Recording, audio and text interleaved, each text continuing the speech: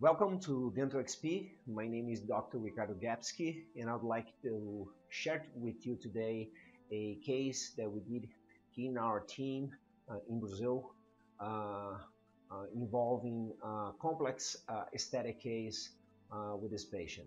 This patient chief complaint was uh, his smile. As you can see, there is a great amount of loss of soft tissue and also uh, periodontal insertion. The, when you can take a photo of the lateral portion of the, of the patient, we can confirm also this great amount of soft tissue loss and also the uh, attachment of the teeth. One initial tomography of the, the case confirmed the clinical findings. Uh, we can see that uh, we consider the, those, those teeth. Uh, we're talking about the lateral incisors and the central incisors uh, hopeless. Um, and the treatment plan was to place four immediate implants as we had an uh, adequate amount of uh, bone for, for such procedure.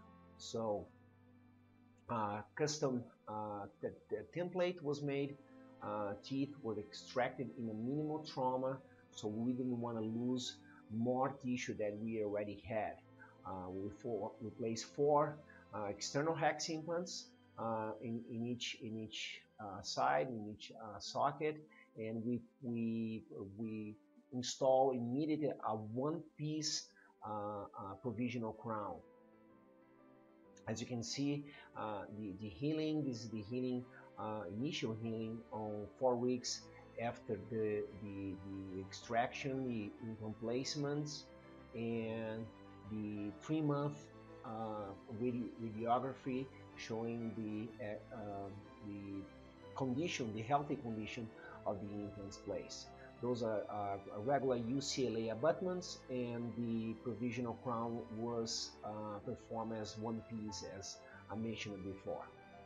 So the, the great, great part, the important part of a case like that is the communication that you should have with your lab technician. And I uh, um, uh, technique where I, I take the traditional photo with a scale so your lab technician can compare in, in his laptop or computer uh, the, the chroma or the RGB of the patient natural tooth but also we take a black and white photo so we can see the, the uh, value of the photo. Very important if you if you talking about uh, prosthesis that involves ceramics that will be reconstruct will reconstruct uh, soft tissue, you have also have the scale for the, the, the, the soft tissue as well. Uh, and finally, we do a digital mapping, we call digital mapping color, and this is easily done with a software such as Photoshop. Uh, this is a case that involves uh, uh another patient, but we can use with any patient. Uh, we can uh, use the software to to uh, digital map the exactly RGB of the tooth. As you can see, this the, this this patient in particular has a very complex amount of chromas, amount of translucities, and amount of uh, colors. So as you program the Photoshop and you click on on a, a particular chroma or particular RGB, the software actually um, the, the, design is designed to uh, uh, uh, automatically match the same color of of where you click in the tooth. So you have lab technician will have also uh, this type of information. We use the Photoshop also to enhance the texture of the, the, the natural tooth so he can also uh, provide uh, prosthesis as natural as possible.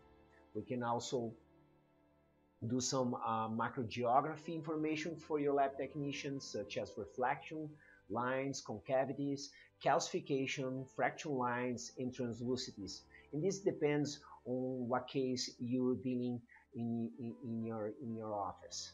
Uh, in our case, we send out the original photo, the enhanced uh, texture photo, uh, we have well also the macro geography, and finally the digi digital mapping color.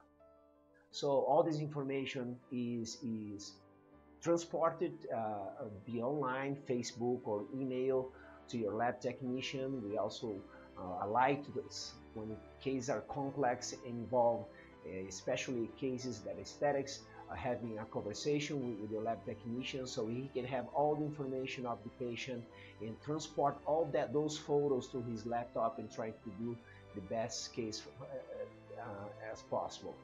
Here is, is the process of um, including the ceramics uh, as uh, following all those digital mapping colors that we, we provide to the to the lab technician and we do have like an initial part of the, the, the reconstruction of the case uh, and then we do a, a test without a glaze.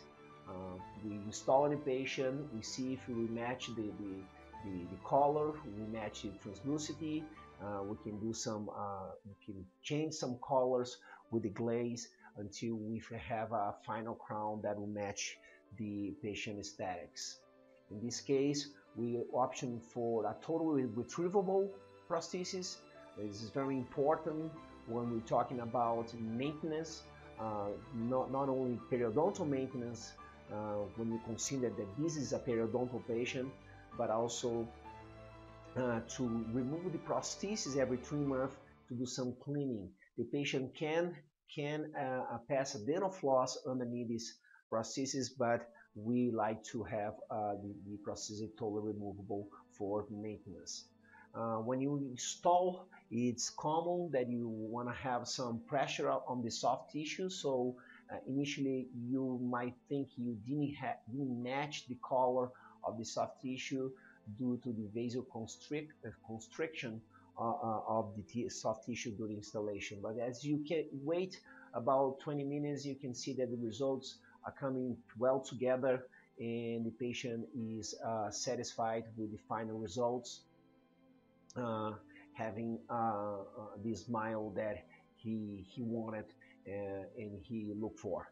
Well, thank you for, for watching and sharing, and I wish you all success. Thank you very much.